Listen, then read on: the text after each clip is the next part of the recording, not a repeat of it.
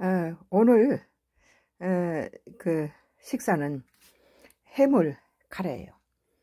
아, 이 밭에서 나오는 감자하고 호박, 애호박하고 아, 자색 양파, 아, 또 이렇게 풋고추, 아, 머위 이런 것들을 감자는 이제 먼저 푹 삶고 아, 쪽에서 푹 삶고 예, 양파 자색 양파는 볶았어요. 팬에 볶고 그래가지고 이제 어, 국물을 카레 가루에다가 아, 카레 가루에 음, 카레 3에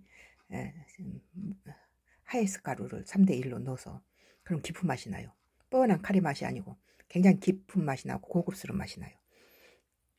그래서 에, 여기에다가 이제 쭈꾸미하고 끓기 시작하면 쭈꾸미하고 아, 이렇게 대하 새우 큰 새우를 넣어서 통통하게 살이 찐 쭈꾸미를 같이 넣어서 이렇게 해물 카레를 만들었어요.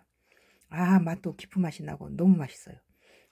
일반 시중에서 파는 그런 카레 맛이 아니죠. 아, 카레에다 하이스를 넣는 것이 팁이에요. 그리고 이제 해물을 넣으로 해서 돼지고기 넣은 거하고는 격이 다르죠. 아주 맛있어요.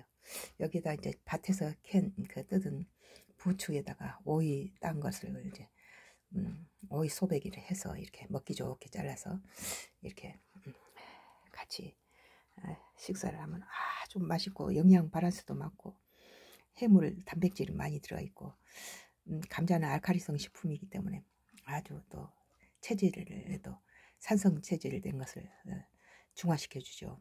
알카리성 쪽으로 아, 산성 체 어, 산성 음식들이 음, 젖산이 축적되면 몸이 피곤하고 어, 산 어, 땅도 산성화 되면은 항폐돼서 곡식이 안 되잖아요.